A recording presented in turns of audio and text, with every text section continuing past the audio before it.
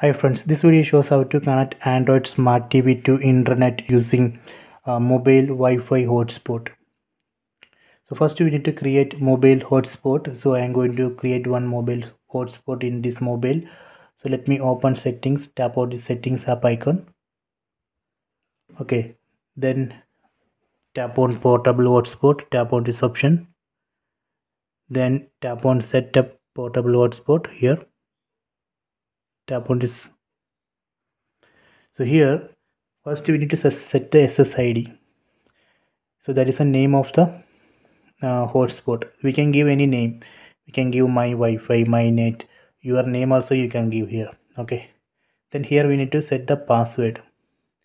So if you want to see the password tap here now you can see the password. We can set password for the hotspot there. Okay. Then tap on security.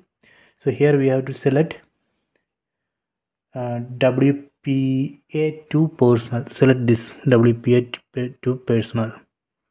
Then we need to save it. Tap on this icon and save it. Done. So next we need to turn on hotspot. So here we need to tap here and turn on or enable the hotspot. So now hotspot is ready. So next we need to connect TV to this hotspot. So in TV select settings from top right corner go to TV settings then select network and internet. Then we need to turn on Wi-Fi. Just turn on Wi-Fi. Okay done. So now it's searching for nearby mobile hotspot or Wi-Fi router. So it's searching. You can see it has uh, detected two uh, Wi-Fi network fiber Wi-Fi and my Wi-Fi. My Wi-Fi is the mobile hotspot mobile Wi-Fi hotspot which I created. So I need to connect to my Wi-Fi. Select it. Then we need to enter the password. One two three four. Four four four four. This was the password which I entered then we can submit it so now it's connecting to my Wi-Fi uh, portable Wi-Fi hotspot. So please wait. Okay connected successfully. Done.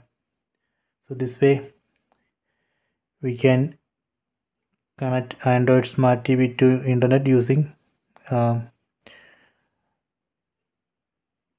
mobile Wi-Fi hotspot. See it's connected so if you check here in the mobile so in the mobile uh, you can see uh, one device connected. Just just go down. So here you can see one device connected. Tap there see connected devices. Okay. So please try this